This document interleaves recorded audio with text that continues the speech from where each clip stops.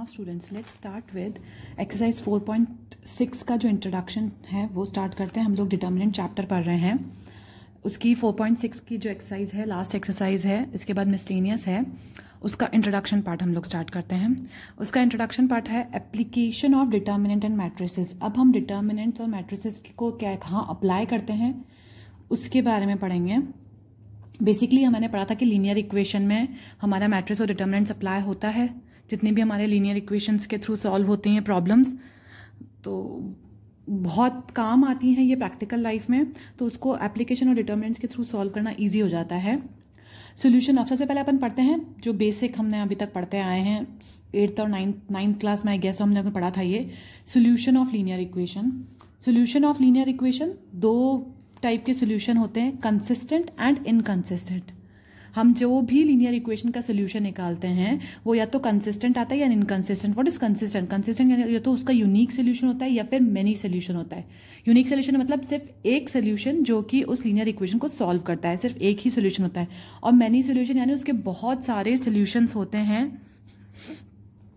वो आता है आपका मैनी सोल्यूशंस में कंसिस्टेंट में। इनकंसिस्टेंट जिसका कोई सोल्यूशन ही नहीं होता है, जिस लीनियर इक्वेशन का कोई सोल्यूशन ही नहीं होता है, वो आता है इनकंसिस्टेंट में। तो इनकंसिस्टेंट इनकन्सिस्टेंट में तो ये लीनियर इस एक्सरसाइज में हम अभी सिर्फ़ यूनिक सोल्यूशन के बारे में पढ़ेंगे। Here we will discuss only the unique solution हम जो, हम इस पूरे चैप्टर में सिर्फ़ यूनिक सोल्यूशन के बारे में ही पढ़ रहे हैं। अब कैसे पढ़ना है, उसको कैसे हम लोग डिटर्मेंट फॉर्म में लिखेंगे? सबसे पहले मैंने एक आपको बता रखा है, इसको अपन मैट्रिक्स मेथड बोलते हैं। हम इस मेथड जो हम फॉलो करेंगे, उसको हम मैट्रिक्स मेथड बोलते हैं। जैसे ये एक तीन इक्वेशन लिखी हुई मैंने a one x one b one y c one z d one c a two x b two y c two z d two a three x b three y c three z d three ये तीन equations लिखी हैं। इसको मैंने सबसे पहले matrix form में लिख दिया। यानी जो मेरे, इनके कोएफिशिएंट्स हैं एक्स वाई जेड इसके कोएफिशिएंट को मैंने एक एक मैट्रिक्स फॉर्म बना दी। A one b one c one a two b two c two a three c three b three c three ये एक डिटर्मिनेंट फॉर्म लिख दिया और इसको मैंने ए नेम से डिनोट कर दिया। फिर एक मैंने डिटर्मिनेंट बनाई मेरी एक्स वाई और जेड की। एक्स वाई जेड क्योंकि ये ए वन बी वन और सी वन है। अगर मैं इसको मल्टीप्लाई करती हूँ तो a one x plus b one y plus c one z fine वापस मेरी यही बन जाएगी। A two x b two y c two z a three x b three y c three z तो मेरी वापस यही इक्वेशन बन जाएगी। तो इसको मैंने अलग से सेपरेट करके लिख दिया और d one d two d three ये मैंने इधर से लिख दिया। तो इसको अगर मैं एज एन इक्वेशन फॉर्म अगर लिखती हूँ तो कैसे आएगा मेरा? A X is equals to B ये मेरा ये फॉर्म बनेगी। क्योंकि मैंने बताया अभी ए को मैं एक्स से मल्टीप्लाई करूँगी। और इधर डी लिखती हूँ, ये बी बी लिखा है मैंने इसको सॉरी तो इधर अगर मैं बी लिखती हूँ तो मेरी यही फॉर्म बनेगी जो मेरी ये इक्वेशन है। इस इस फॉर्म में लिखने से इस इक्वेशन का कहीं कुछ चेंज नहीं होता है। अब मुझे सबसे पहले चेक करना पड़ेगा। इस फॉर्म में लिखने के बाद मुझे चेक करना पड़ेगा, मेरा जो ए है, वो मेरी सिंगुलर मैट्रिक्स है या नॉन सिंगुलर मैट्रिक्स है? इसका मतलब क्या? कि मेरे को उसका डिटर्मिनेंट निकाल कर देखना पड़ेगा, और अगर वो ज़ीरो आ रहा है तो वो सिंगुलर मैट्रिक्स है। अगर वो ज़ीरो नहीं आ रहा है तो वो नॉन सिंगुलर मैट्रिक्स है। तो अगर वो नॉन सिंगुलर मैट्रिक्स है तो ही हम उसका ए इस मेथड से, इस प्रोसीजर से सॉल्व कर सकेंगे। तो देखो, अगर जैसे ए एक्स इज़ इक्वल सबसे पहले मैंने चेक कर लिया कि ए मेरी नॉन सिंगुलर मैट्रिक्स थी। ठीक है, फिर मैंने लिखा A X is equals to B fine इसके बाद मैंने क्या किया? ए इनवर्स का मल्टीप्लाई किया प्री मल्टीप्लाई यानी आगे की साइड दोनों का मैंने ए इनवर्स का दोनों साइड मल्टीप्लाई किया तो ये तो मेरा बन गया आई और ये मेरा बन गया ए इनवर्स बी ठीक है? तो अब मेरी एक्स आई इंटू एक्स तो एक्स ही रहेगा तो X is equal to A inverse B आ गया। अब ये जो ए इनवर्स आया है, ये ही मेरा जो इसका सोल्यूशन होगा, वो इस टाइप से सॉल्व होगा। एक्स वाई जेड की वैल्यू जो आएगी, वो ए इनवर्स निकालोगे और उसको बी से मल्टीप्लाई करोगे तो तुम्हारे को एक्स वाई जेड की वैल्यूज़ आ जाएँगी। तो ये जो ए इनवर्स है हमेशा मैंने मैंने जब इन्वर्स निकालना सिखाया, तब बताया था कि इन्वर्स हमेशा एक यूनिक सोल्यूशन होता है। मतलब किसी भी मैट्रिक्स का जो इन्वर्स अगर प्रेजेंट होता है, अगर एग्जिस्ट करता है तो वो सिर्फ़ एक ही होगा and that will be unique इसीलिए हम लोग ये यूनिक सोल्यूशन वाले क्वेश्चन कर रहे हैं। Here it provide a unique solution as inverse of the matrix is always unique अब हम लोग देखते हैं कि जब मेरा ए सिंगुलर मैट्रिक्स है, यानी मेरा डिटर्मिनेंट ऑफ़ ए ज़ीरो है, पहले तो नॉन सिंगुलर के लिए आप A X equals to B करके निकाल सकते हैं और X is equals to A inverse B ऐसे करके निकाल सकते हैं। लेकिन जब हमारा ये इनवर्स सिंगुलर मैट्रिक्स है, तब क्या करेंगे? तब ए डिटर्मिनेंट मेरा क्या हो जाएगा? ज़ीरो इसके दो तरीके हैं टू कैलकुलेट सबसे पहले adjoint of A into B निकाल के देखेंगे हम। सबसे पहले एडजॉइंट ऑफ़ ए निकालेंगे, उसको बी से मल्टीप्लाई करेंगे। अगर ये will not be equal to zero अगर ये ज़ीरो नहीं आता है तो वो नो सोल्यूशन कहलाता है, यानी इनकन्सिस्टेंट कहलाता है। और अगर ये ज़ीरो आ जाता है A adjoint of A into B अगर मेरा ज़ीरो आ जाता है तो वो इट कैन बी कंसिस्टेंट और इसमें दो ऑप्शन होते हैं। कंसिस्टेंट भी हो सकता है और कंसिस्टेंट नहीं भी हो सकता है। होगा तो बहुत सारे सोल्यूशन होंगे और कंसिस्टेंट नहीं हुआ तो नो सोल्यूशन हुआ। ठीक है? तो ये बचे हुए दो केसेस थे जो कंसिस्टेंट और नॉन कंसिस्टेंट ये फ़िलहाल एट प्रेजेंट आपके इस बुक में कोर्स में नहीं है। अभी हम लोग सिर्फ़ यूनिक सोल्यूशन ही पढ़ेंगे। अब एक एग्ज़ाम्पल लेके चलते हैं। एग्ज़ाम्पल ट्वेंटी सेवन है एनसीईआरटी बुक का। वो बोल रहा है two x plus five y equals to one और three x plus two y equals to seven ये मुझे एक लीनियर इक्वेशन दे रखी है। इस लीनियर इक्वेशन को मुझे सॉल्व करना है through determinant matrix form matrix determinant form solve करना। तो सबसे पहले मैंने जो कोएफिशिएंट्स यानी टू थ्री फाइव टू इनको मैंने एक मैट्रिक्स फॉर्म लिख दिया ए फिर मैंने एक एक्स लिया, जो एक्स और वाई के जो वेरिएबल्स हैं, वो लिखे, और इधर जो राइट हैंड साइड में इक्वल्स टू के राइट हैंड साइड में है वन और सेवन वो मैंने बी फॉर्म में लिख दिया, ठीक है? तो अभी मैंने क्या निकालना बताया था, सबसे फ़र्स्ट स्टेप है to calculate the determinant determinant calculate करके देखूँगी कि ये नॉन सिंगुलर मैट्रिक्स है या सिंगुलर मैट्रिक्स है। That will be four minus fifteen that will be minus eleven और it is not equals to zero इसका मतलब ये एक नॉन सिंगुलर मैट्रिक्स है तो इसका एक यूनिक सोल्यूशन प्रेजेंट है। इसका मतलब इसका इन्वर्स निकल सकता है। तो अब मैं ए इनवर्स निकाल के देखती हूँ, क्योंकि मेरे को मेरा जो फॉर्मूला यूज़ करना है, वो है X is equals to A inverse B तो सबसे पहले मैं ए इनवर्स निकालूँगी। डिटर्मिनेंट क्या है मेरा? माइनस वन अपॉन इलेवन और इसके मुझे यहाँ पे क्या लिखना है? को फैक्टर्स टू और टू तो इंटरचेंज करूँगी तो यही आएगा, और यहाँ माइनस फाइव और यहाँ पे माइनस थ्री ठीक है? तो इस को uh, फैक्टर्स निकाल के ट्रांसपोज भी कर दिया मैंने तो ये जॉइंट ऑफ़ ए निकल गया मेरा। तो adjoint of A upon minus eleven तो ये मेरा आ गया ए इनवर्स अब मेरा फॉर्मूला क्या था? X is equals to A inverse B ये अभी मैंने पीछे जस्ट बताया तो मैं यहाँ पे लिख देती हूँ। One upon eleven two minus five minus three और टू ये और मेरा बी क्या है? वन और सेवन जो मैंने यहाँ लिखा था बी और वन और सेवन वो मैंने यहाँ लिख दिया। अब बस इसको मल्टीप्लाई कर दो तो ये आ जाएगा एक्स जो है मेरा, वो क्या है? एक्स और वाई है? ये वाली डिटर्मिनेंट सॉरी अपॉन नहीं आएगा। एक्स और वाई मेरा डिटर्मिनेंट है, ये एक्स इसको मैं ऐसे सही से लिख देती हूँ। एक्स और वाई ठीक है?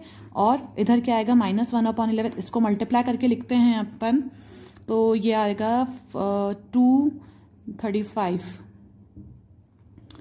thirty three minus of thirty three three minus three and fourteen minus three minus three and three fourteen minus three and one and fourteen eleven ठीक है? तो ये आया प्लस इलेवन ये आ गया मेरा सोल्यूशन इसका. नेक्स्ट अब मैं इलेवन का इसके अंदर डिवाइड कर देती हूँ. एक्स और वाई मैट्रिक्स फॉर्म आ गया। ये माइनस इलेवन मैंने अंदर दोनों जगह डिवाइड कर दिया तो ये हो जाएगा। Thirty three by eleven will be three and eleven by eleven will be minus one तो ये एक्स और वाई के मेरे सोल्यूशन आ गए। तो x is equals to three और y equals to minus one मेरे सोल्यूशन आ गए इसके थ्रू ठीक है? तो ये लीनियर इक्वेशन को सॉल्व करने का तरीका है एक्स और वाई निकालने का थ्रू मैट्रिक्स फॉर्म ठीक है? तो हमने इसको मैट्रिक्स और डिटर्मिनेंट को दोनों को यूज़ करके हमने ये ए इनवर्स निकाल के फिर उसको ए इनवर्स बी से मल्टीप्लाई किया और एक्स और वाई की वैल्यू निकाली। Now let's take another example example 28 लिया है। इसको भी उसने बोल रखा है solve the following equation by matrix method ये तीन इक्वेशंस दे रखी हैं। इस इक्वेशन के कोएफिशिएंट्स को मैंने यहाँ पे ए मैट्रिक्स फॉर्म में लिख दिया। Three two three minus two three two one minus one four minus three and two ये मैंने ऐसे लिख दिया।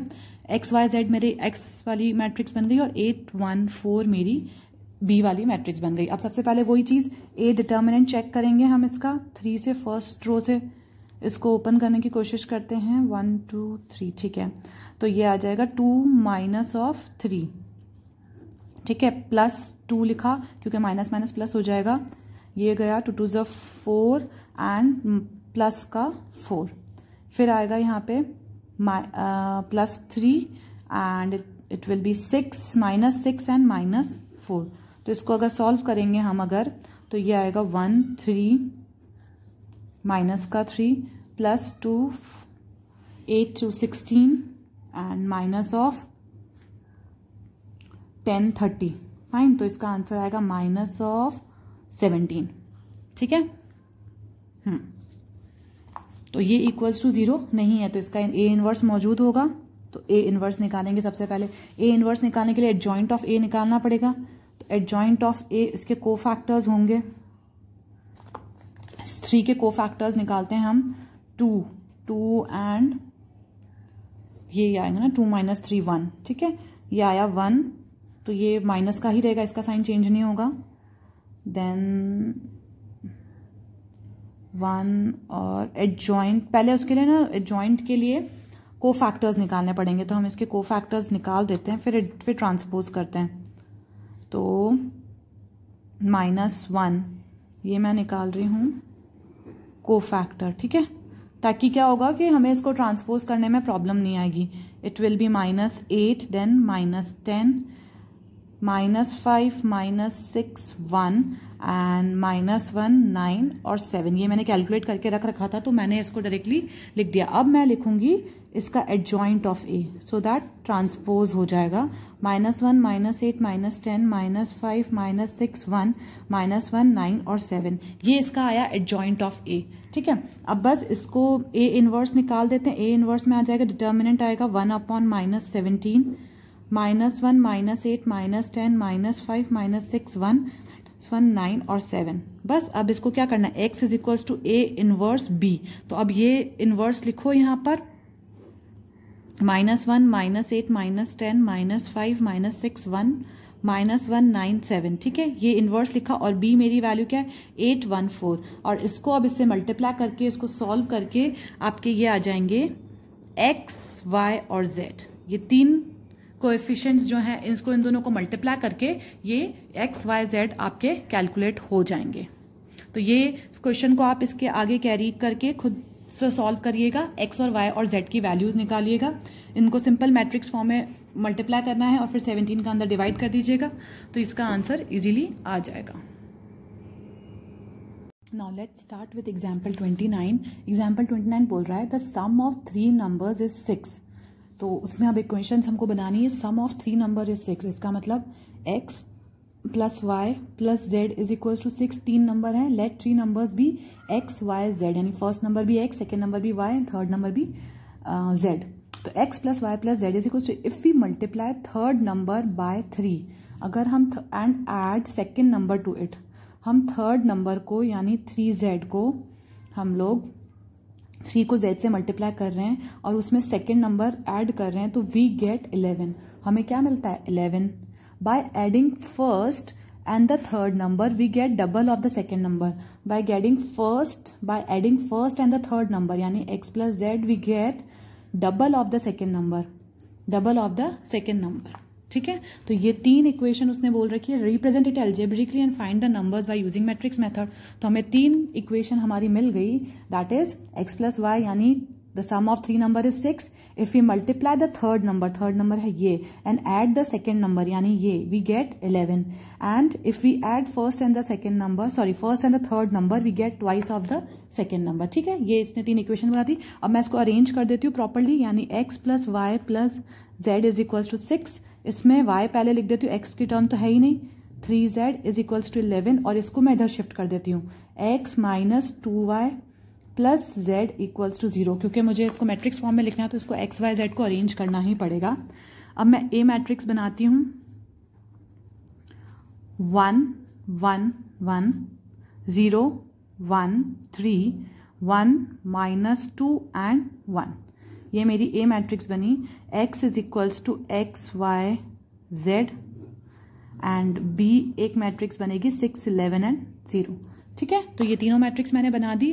अब सबसे पहले चेक कर लेते हैं ए डिटर्मिनेंट इसका ए डिटर्मिनेंट कितना है? One and six one plus six minus इससे खोल दें तो ज़ीरो ज़ीरो हो जाएगा ये तो। वन से खोलेंगे तो। ठीक है, इसको तो सेकंड इस कॉलम से खोल देते हैं। तो ये ज़ीरो हो जाएगा।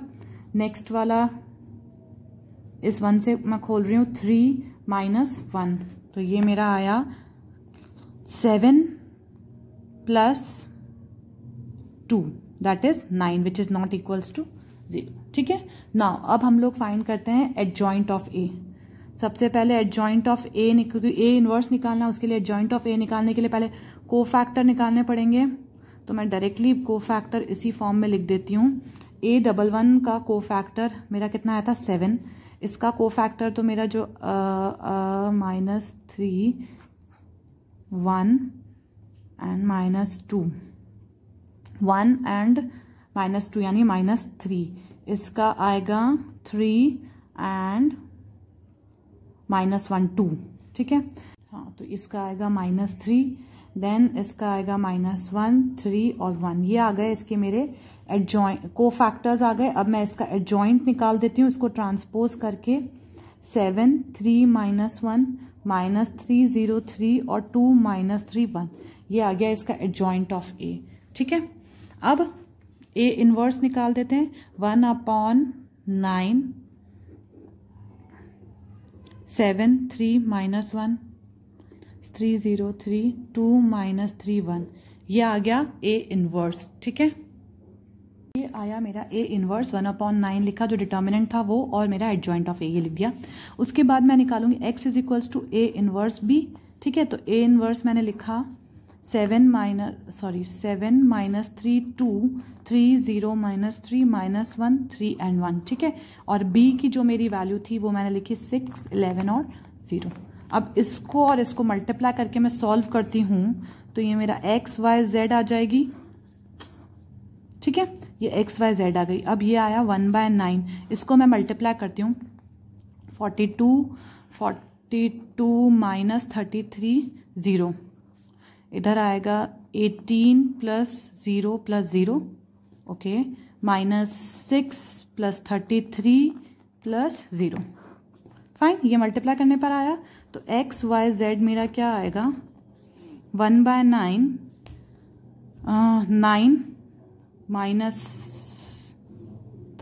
three forty two eighteen and six twenty seven ठीक है? अब ये डिवाइड हो सकता है अंदर तो एक्स वाई जेड जो मेरी आएगी, वो डिवाइड होने के बाद आएगी वन टू एंड थ्री यानी मेरी एक्स की वैल्यू आई वन वाई की वैल्यू आई टू जेड की वैल्यू आई थ्री तो ऐसे इस टाइप से आप लीनियर इक्वेशन को सॉल्व कर सकते हैं through determinant and matrix method जिसको आप बोल सकते हो। तो इससे आपकी एक्सरसाइज 4.6 इजीली पूरी सॉल्व हो जाएगी। तो इसको आप फटाफट पहले सारे एग्ज़ाम्पल सॉल्व करिए ताकि अपने कंसेप्ट क्लियर कर हो जाएँगे। उसके बाद अपनी एक्सरसाइज स्टार्ट करके एक्सरसाइज कंप्लीट करिएगा। Thank you